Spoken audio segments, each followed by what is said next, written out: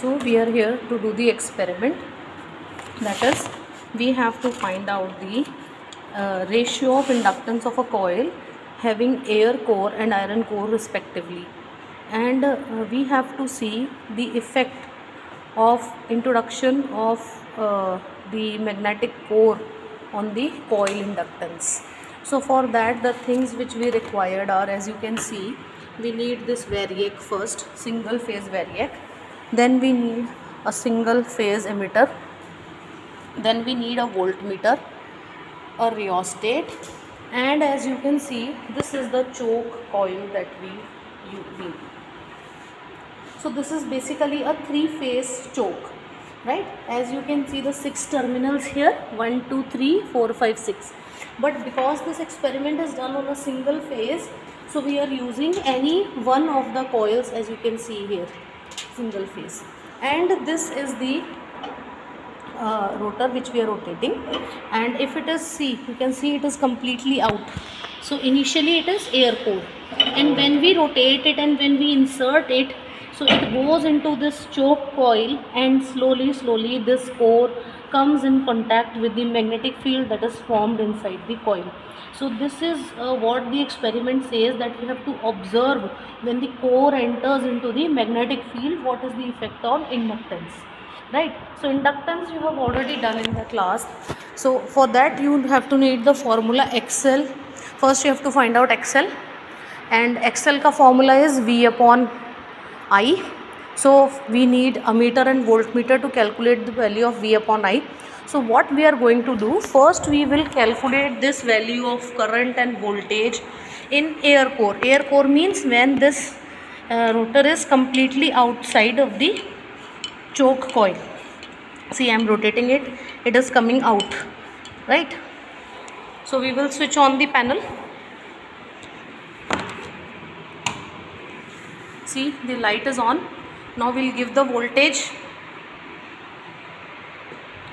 We'll slowly slowly rotate this variac. And we will give voltage from this variac. So as you can see the voltmeter as we are rotating the variac the voltage is increasing. And we are applying approximately 40 volts. 20 20 volts. So we have given 20 volt voltage from this variac so when you give 20 volt voltage simultaneously see the value of current. It is one uh, is slightly more than 1.5 1.52 right?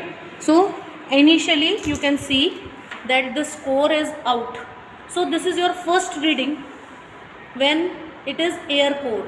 The core is totally out. So voltage is 20, current is 1.52. So this is your first reading. I will note down the reading also. So this is our first reading when it is air core. Right? V and I my voltage is 20 volts and my current is 1.52 ampere.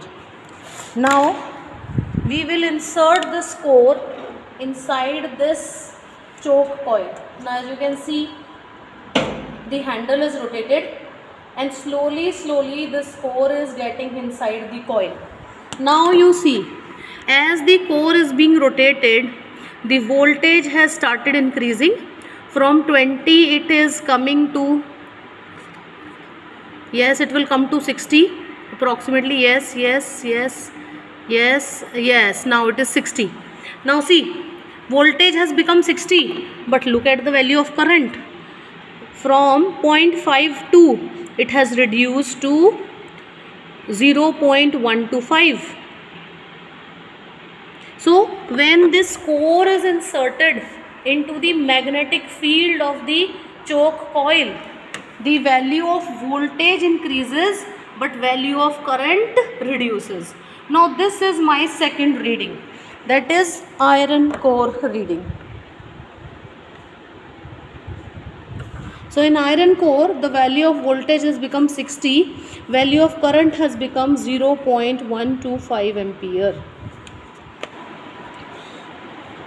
now this is all about the experiment